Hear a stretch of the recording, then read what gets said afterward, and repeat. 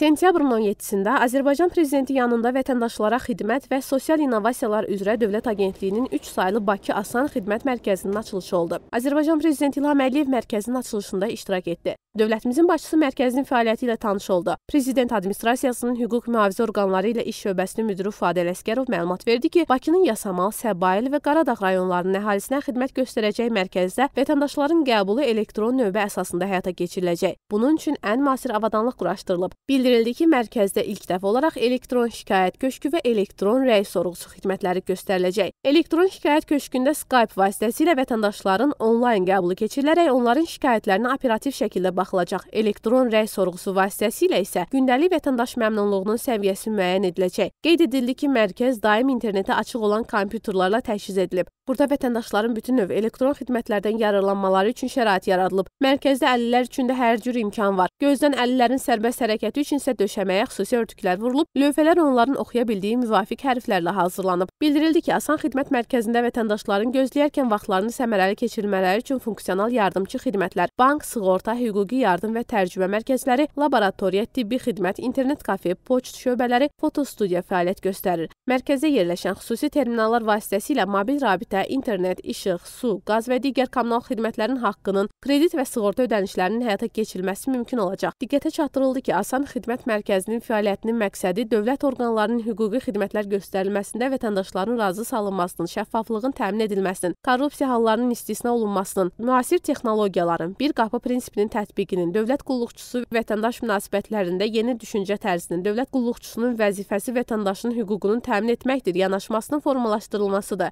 Azərbaycan prezidentinə Asan imza sertifikatı və Asan imza sim kartı təqdim edildi. Dövlətimizin başçısı mərkəzdə yaradılan şəraitdən razılığını bildirdi, müvafiq tapşırıq və tövsiyələrini verdi.